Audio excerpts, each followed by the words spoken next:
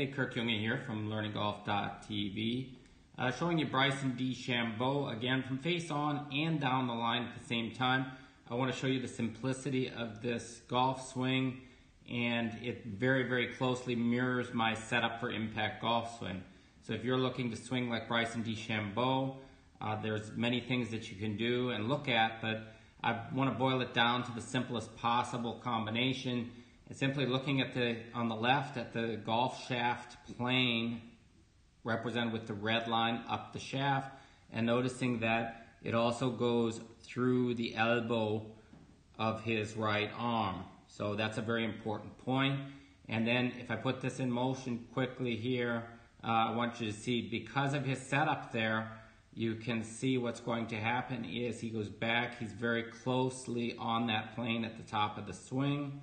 And if we track it coming down, you're going to see it comes exactly right down the swing plane as well. Where it impact, it's again exactly on the plane it started out on. You can also notice that his spine angle here did not change at all from setup to impact.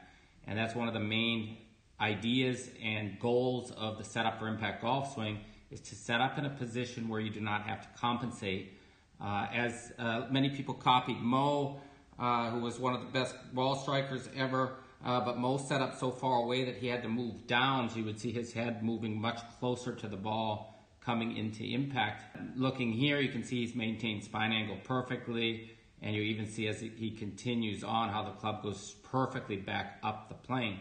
Conventional golf, which teaches people, uh, if we go back to the setup, has the arms hanging straight down, and then the club comes out at an angle like this, at setup, the problem is at impact, everybody's club straightens out on the plane with their right arm. So impact's completely different uh, as far as the orientation, which is why 99.9% of golfers have no chance when setting up like the tour players do.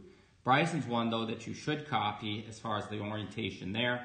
And my setup for impact golf swing teaches you uh, the grip setup uh, and simple drills to get you back, uh, get you going on the golf course as soon as possible and helps you improve right away, right out the gate. On the right here you see face on, I drew a red line down his left arm. Uh, made a couple other markings just to show you uh, some reference points so you can track the movement, but it is very simple. And this drive he played a little bit back in his stance, so it's his low stinger type drive. Uh, but I want you to notice his head stays nicely in position.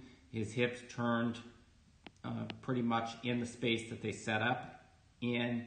And you're also going to see a great use of the legs and body to generate club head speed. This is also something the people copying Moe don't achieve and most lose distance because uh, they are not using ground forces to generate speed.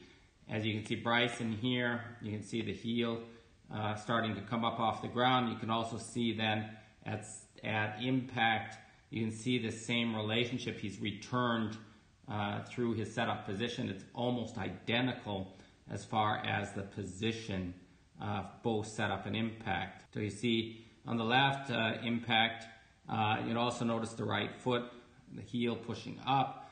Uh, this is what gives this swing so much power. Bryson's one of the top 20 on tour and driving distance because he's using his body, nice straight leg at impact, which is also very important for generating speed, but also accuracy, uh, consistency, and this is why I think he's going to be one of the top players in years to come. It's an extremely back-friendly golf swing as there is no spinal compression.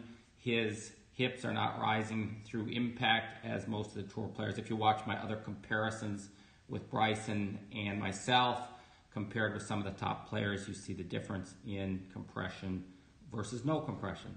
So visit learninggolf.tv for more info and please subscribe here on YouTube and like this video. Thank you very much and have a great day.